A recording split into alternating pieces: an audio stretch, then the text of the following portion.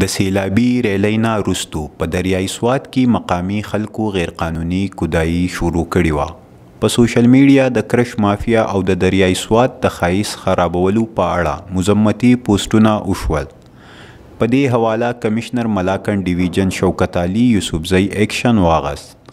او په غیر قانوني کودایۍ کې ملوث چوبیس کسانی ګرفتار کړو او تین ایم پی او ایف آی آر پی درج کړی شو او مردان جیل ته یې منتقل کړل د ملزمانو په استعمال کې چې کم ګاړي و هغه یې تې هم سرکاري کړل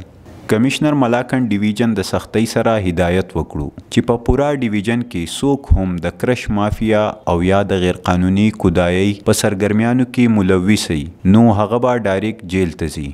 ایمل رشید، سوات.